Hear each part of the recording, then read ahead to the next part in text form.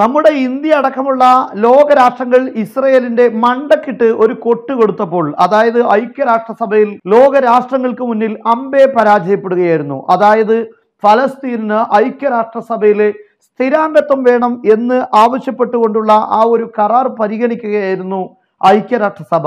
നൂറ്റി നാൽപ്പത്തി മൂന്ന് രാഷ്ട്രങ്ങളാണ് അത് ആവശ്യമാണ് അനിവാര്യമാണ്.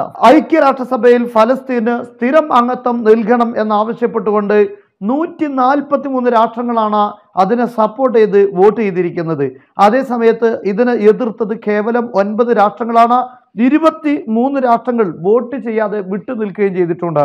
ഇവിടെ ഇന്ത്യ അടക്കമുള്ള രാഷ്ട്രങ്ങളെല്ലാം ഫലസ്തീനിന് അങ്ങനെ ഒരു അംഗത്വം വേണമെന്നാണ് ആവശ്യപ്പെട്ടിട്ടുള്ളത്. എന്നാൽ ഈ വോട്ടെടുപ്പിൽ അമ്പെ പരാജയപ്പെടുമെന്ന് ബോധ്യപ്പെട്ട ഇസ്രയേലിന്റെ പ്രതിനിധി മതമിളകിയ കാട്ടാനയെ പോലെ ദുരന്തപൂർണമായ സാഹചര്യങ്ങളാണ് ഐക്യരാഷ്ട്രസഭയിൽ ഉണ്ടാക്കിയിരിക്കുന്നത്. ഇത് ഞാൻ വെറുതെ പറയുകയല്ല. ഐക്യരാഷ്ട്രസഭയുടെ വളരെ പ്രധാനപ്പെട്ട പീഠത്തിൽ നിന്നുകൊണ്ട് ഇസ്രായേലിന്റെ പ്രതിനിധി കാണിച്ചു കൂട്ടിയ ഒരു സംഭവം നിങ്ങൾക്ക് വീഡിയോയിൽ കാണാം. ഐക്യരാഷ്ട്രസഭയുടെ ചാർട്ടറാണ്. അദ്ദേഹം ഞാൻ പറഞ്ഞ പോലെ കൃഷിയിടത്തിലിറങ്ങിയ കാട്ടാനയെ പോലെ നശിപ്പിച്ചു കളയുന്നത്. ശ്രദ്ധിച്ചു നോക്കൂ. This is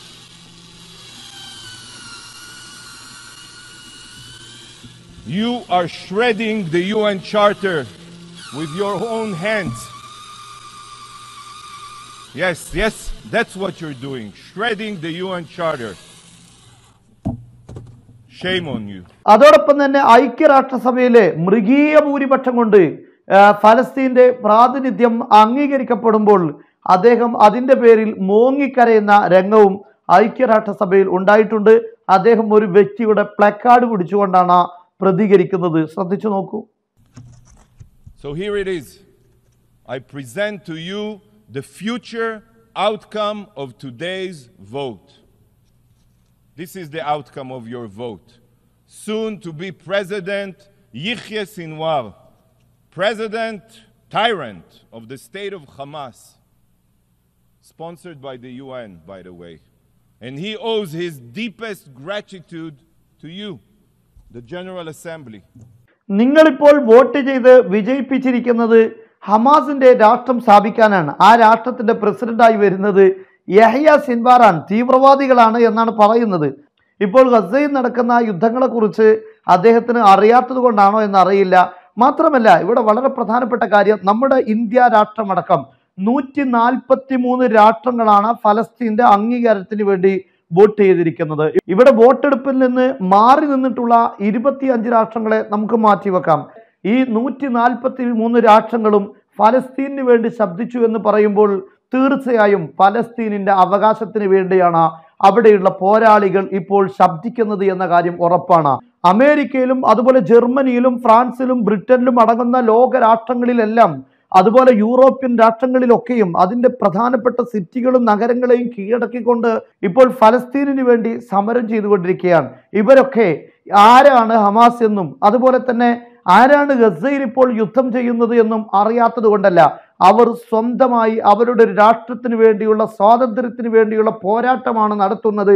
എന്ന് ലോകത്തിന്റെ ചുവരെഴുത്ത് വായിക്കുന്ന മുഴുവൻ ആളുകൾക്കും ബോധ്യപ്പെട്ടത് കൊണ്ട് തന്നെയാണ് ലോകരാഷ്ട്രങ്ങളുടെ പ്രധാനപ്പെട്ട നഗരങ്ങളെയൊക്കെ കീഴടക്കിക്കൊണ്ട് ഫലസ്തീനിന്റെ കൊടികളും ഫലസ്തീന് വേണ്ടിയുള്ള ശബ്ദങ്ങളും ഉയർന്നുകൊണ്ടിരിക്കുന്നത്. ഇത് തീവ്രവാദമല്ല നീതി നിഷേധിക്കപ്പെട്ട ഒരു സമൂഹത്തിന്റെ ശബ്ദമാണ് ഇത് എന്ന് ലോകം മനസ്സിലാക്കി കഴിഞ്ഞു. അതുകൊണ്ടാണ് ഏകദേശം ഇരുന്നൂറോ ഏകദേശം ഇരുന്നൂറോളം രാഷ്ട്രം വരുമ്പോൾ ഒൻപത് രാഷ്ട്രം മാത്രമാണ് അവരെ പിന്തുണക്കാനുണ്ടായത്. ഇതിൽ നിന്ന് തന്നെ സത്യം എവിടെയാണ് അസത്യം എവിടെയാണ് എന്ന കാര്യം വ്യക്തമാകുന്നതാണ്. നൂറ്റി നാൽപ്പത്തി മൂന്ന് രാഷ്ട്രങ്ങളാണ് ഫലസ്തീന് അനുകൂലമായി വോട്ട് ചെയ്തിട്ടുള്ളത്.